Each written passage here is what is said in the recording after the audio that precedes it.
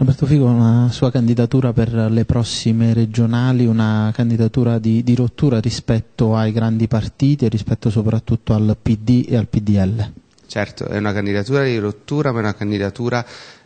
di cittadinanza, di cittadinanza vera che, con, che, insieme, unendosi, bypassa i partiti e ritrova la vera forza di stare insieme per un futuro totalmente diverso in Campania.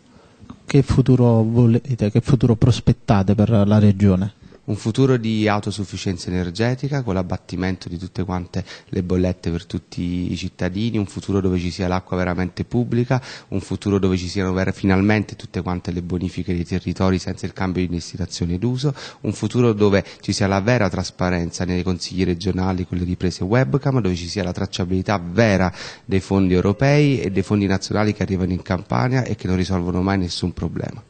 un movimento, quello di Beppe Grillo, che in un periodo era vicino a Italia dei Valori, non si poteva raggiungere un accordo con la lista di Di Pietro?